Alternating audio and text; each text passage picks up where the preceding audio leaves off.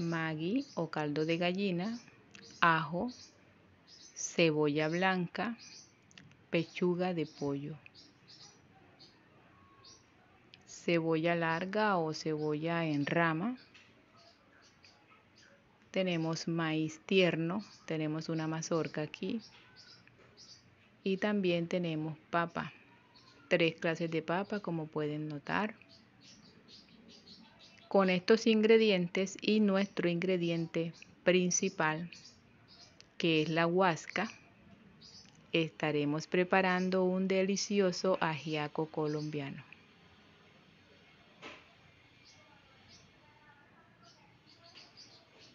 Comenzamos en aceite ya caliente, agregamos nuestro ajo para dejarlo sofreír.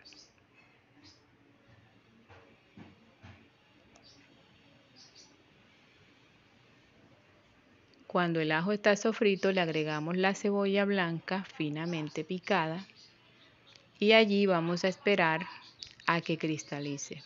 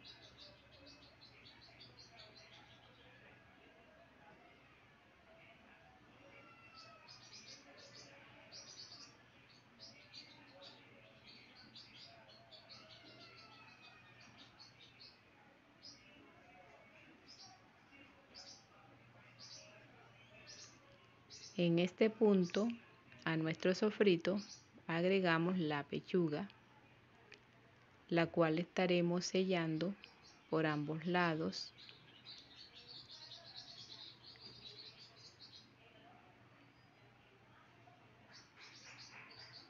La agregamos con sus huesitos. Estos le dan un buen sabor a nuestra preparación. Saben que esta pechuga ya al final cuando está cocida eh, hay que retirarla para desmecharla.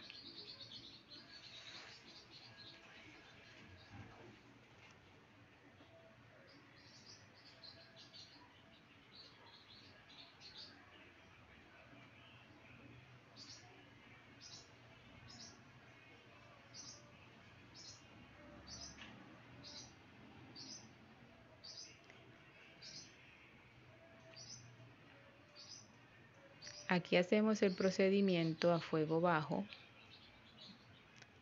con el fin de que no se nos vayan a quemar nuestros ingredientes que son el ajo y la cebolla.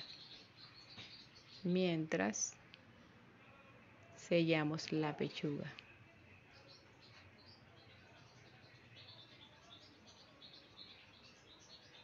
Ok, entonces le agregamos el agua. Agregamos enseguida la cantidad de agua de nuestra preparación. Agregamos la cebolla larga en ramas porque esta cebolla larga la vamos a retirar luego cuando ya se haya cocinado. Agregamos el caldo de gallina y también en este punto agregamos la mazorca ya picada.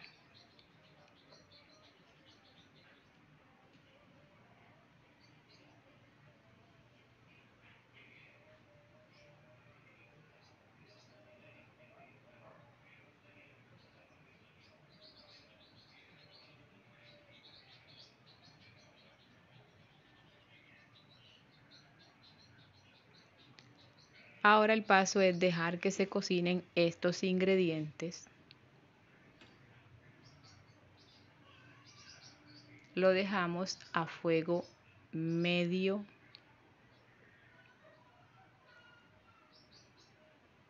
Ok, aquí ya nuestra pechuga está cocida. Entonces la vamos a retirar. Esperamos a que repose el calor para poder desmecharla.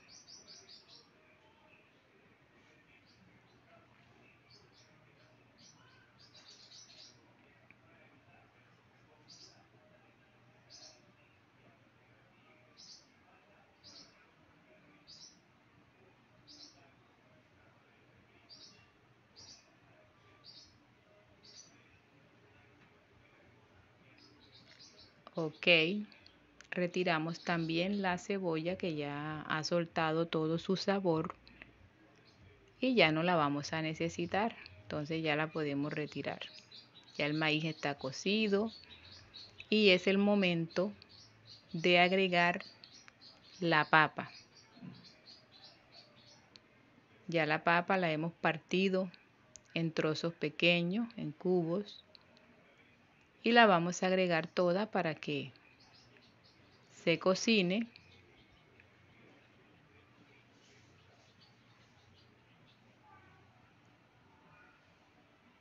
Cuando esta papa está cocida y ya nuestra, nuestro ajiaco ha logrado el espesor, más o menos el espesor que, que debe tener y que queremos dejar entonces es cuando vamos a agregar la papa amarilla, la pequeñita. Sabemos que esa se cocina muy rápido, entonces siempre se pone al final. En este punto ya le agregué la papa amarilla y también ya le agregué la pechuga desmechada.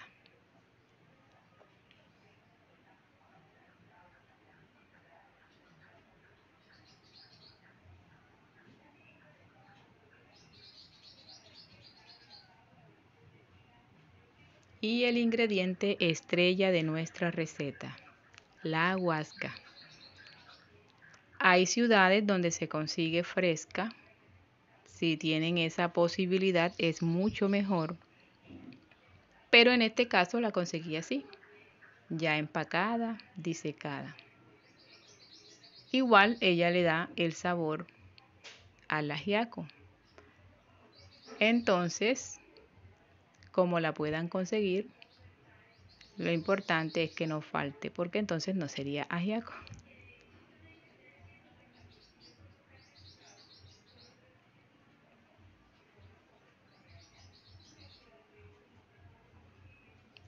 Aquí ya tiene el espesor que deseamos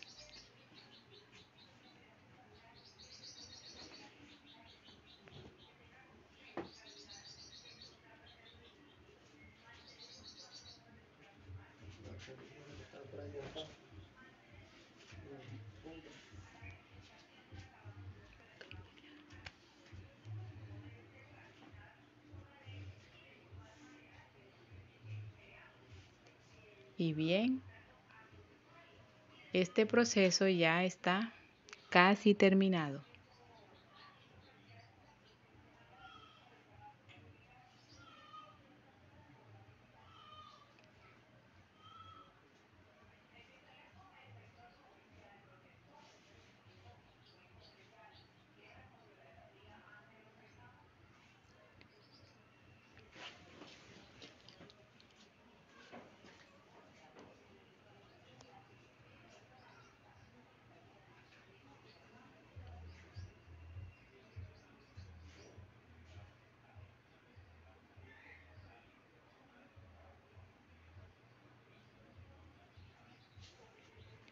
Está listo nuestro ajiaco ya para emplatar. Recuerden, esta receta se acompaña tradicionalmente con alcaparras, crema de leche y aguacate. Y también el arroz blanco para un delicioso almuerzo. Espero les haya gustado mi preparación.